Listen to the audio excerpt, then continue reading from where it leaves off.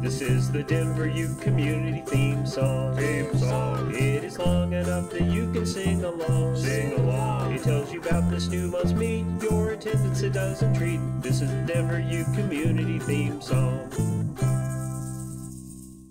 What a great month April was. Not only did I get my first multiple signature birthday card, awesome, but there was a second ukulele orchestra show, Tina and her pony came back, and Alan Rosen's Super Mini Uke Fest was a gigantic success.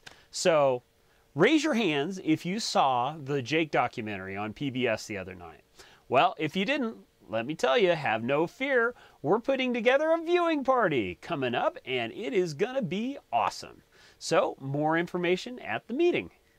Danielle Ate the Sandwich is coming with Victor and Penny June 22nd with tailgating in the parking lot starting at 5. Our good friends from Moe's Barbecue will be there to provide a little banana pudding, so that should be another great one. Of course, that's the same day as the Ola eh, put on by the Hawaiian Civic Club of Colorado over in Highlands Ranch. I have more information to give you on that one as well, so more reason to come to the meeting on Saturday. And I don't know about you, but I'm going to both. And of course, the Yukon camping trip is coming in July. So from 10:30 to 11 is of course the time for our 2 and 3 chord songs where we will undoubtedly do This Land is Your Land with all of its golden valleys and redwood forests. And then from 11 to 12, it'll be time for a bunch of great songs about colors.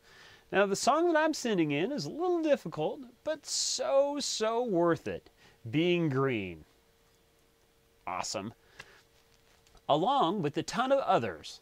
Now, we have a lot of great themes where it's super obvious the songs that you should bring, but I always look forward to our more abstract themes for the more creative song choices.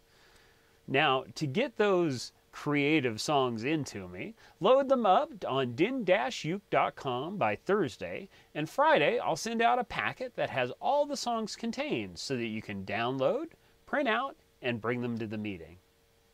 And then we are super excited in our ha last half an hour to have John Mumford giving a lecture on ukulele blues. So that should be terrific.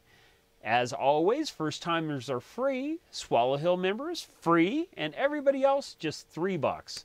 So I'll see everybody there Saturday, May 18th at 10:30 a.m. at Swallow Hill Music. Donuts. For more tutorials, tributes, and tunes, try our website at den-uke.com.